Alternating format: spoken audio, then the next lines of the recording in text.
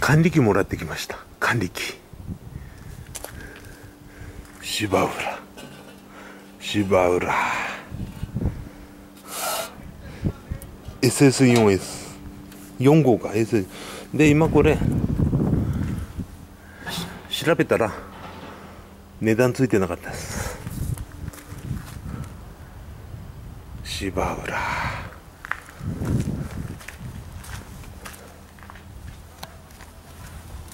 芝浦。で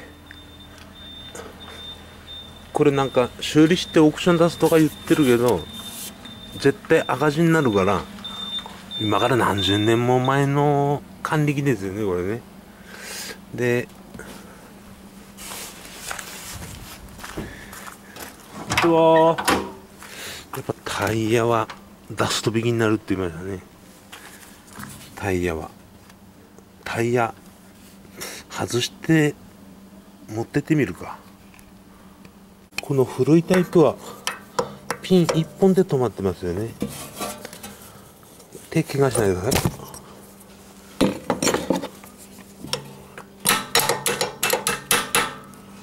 こんな感じであとピン抜けば取れますタイヤ。ピン抜けた1本。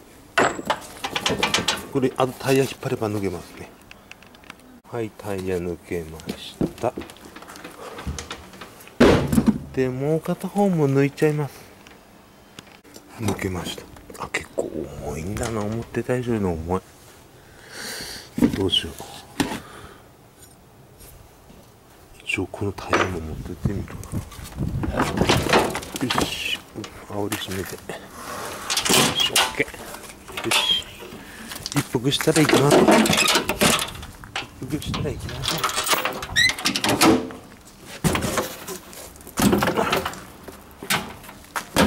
よし OK えー、今期なのか還暦なのかよくわかんないけどあれはオークション相場ジャンクで鉄くずの価値しかないのでもう貿易屋さんにも聞いたけどもうやっぱガソリンエンジンの芝浦はもう厳しいって正直。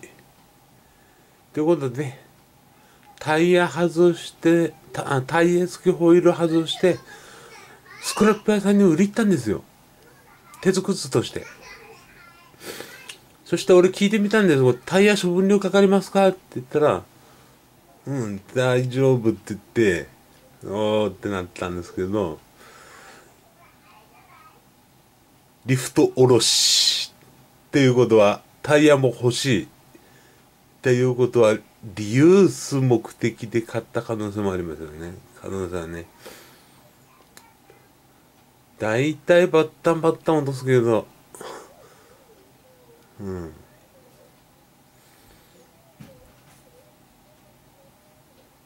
まあキロ52円でした。うん。その辺の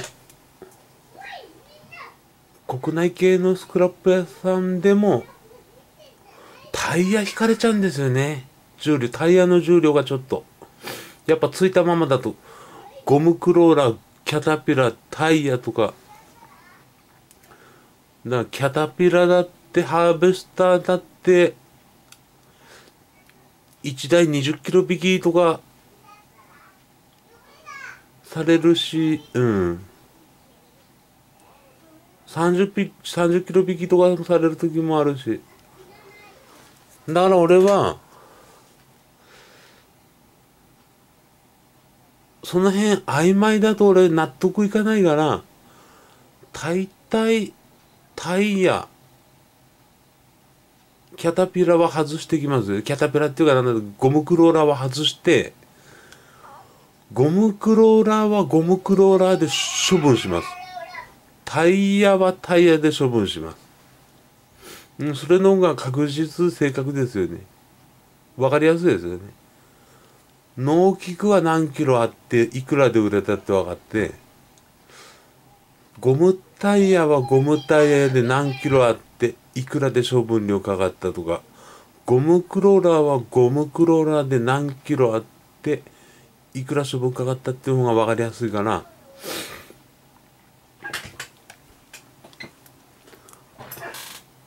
結構業者によって何キロ引くかは分かんないですよねこれね結構いろんなところに収めてんですけどほんとこれはねすごい難しいですよね。何にも分かんないとね結構海外系とかは 結構持ってく持っていかれるかもしれない。です持っていかれる。けど海外系は結構基本シュレッダーだからそんなには持ってかないですよね。もうみんなもこじゃまぜにしてはいないか。最近うるさいからキャタピラ外してますもんね重機で。ゴゴムクローラー。フレコン詰めしてる業者とかもいるし。うん。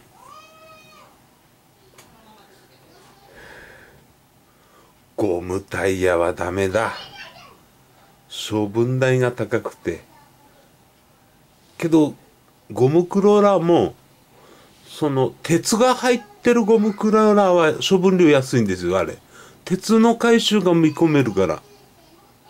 まあ大半のゴムクローラーは鉄入ってるんで正直1本数百円の処分量なんですよね。まあ10キロ20キロのやつはね。まあこれが40キロ50キロ60キロとかになってくると100キロとかになってくるとちょっとだいぶ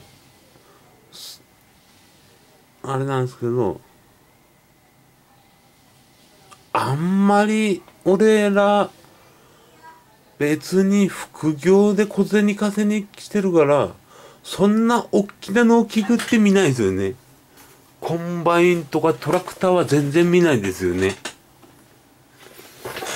逆にあのなんか知り合いが畑に捨ててあるような還暦とか根気処分してくれとかそんな感じですよね。ほとんど農機具なんて見ないですよね。回ってこないです、話は。もう専門の回収業者が多分買い取りしてるか回収してるかでだってもう俺一人だからせいぜい持ち上げられる重量って何十キロですよねまあチルホールとかロープとかいろいろ使えば300キロ500キロは軽トラックに上げられるけどアルミブリッジとか使えばうんまあ、500キロ一トンあれば、スクラップ屋呼びますよね。回収に来てくれって。